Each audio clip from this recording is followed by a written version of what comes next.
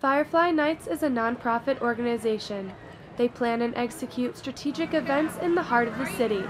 Its mission is to foster the diverse, neighborly, and lively atmosphere of downtown BG. As a business owner down here, it was kind of a no-brainer for me to put some effort into creating an opportunity for people to gather right down here um, on Main Street. Not only does the event benefit local businesses, but it also shows the historic downtown. The Fall Festival included farm animals and a Halloween costume contest. Trick or Treat was also available for the kids. I think they have been so supportive and so welcoming of everything Firefly Nights.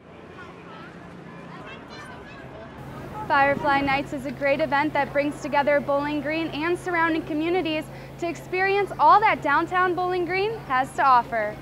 Josie Weickert reporting.